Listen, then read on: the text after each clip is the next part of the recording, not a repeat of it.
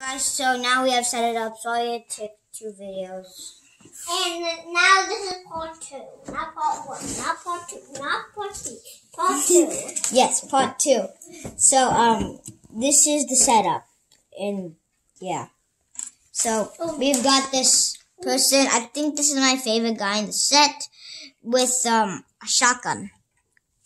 And I and I think um this is my favorite guy with the wings. This is my favorite.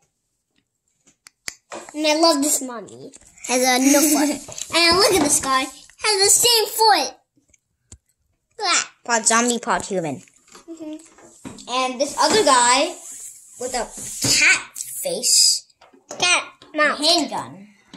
And this woman, I think it's I think it's a SWAT with nothing. And this can actually spin. Ooh. Literally. Ooh. Ooh. oh, But can't really spin that much. So, and then here are a crowbar that the robbers broke in, and the TNT. And look at these. These are money. Money, money, money.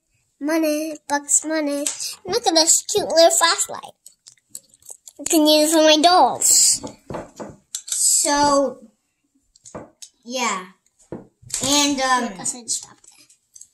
So a lot of these stuff are built by, you know, the, built by people in Target or That's a clear shield. That's really cool. See? That? Cracked. And these are the accessories that I didn't want to put on. The gun and the, um, um. But my favorite accessory is the shotgun and this helicopter. Well, my favorite, um, is the, um, hand walker. Hand walker. What's a hand walker? The handcuffs. Handcuffs. Handcuffs, not hand walker. okay, so I'm sorry this was a short video, but still a big shout out to Juan Pablo It's really cool. And for look giving me this. this. Look at this. Look at that.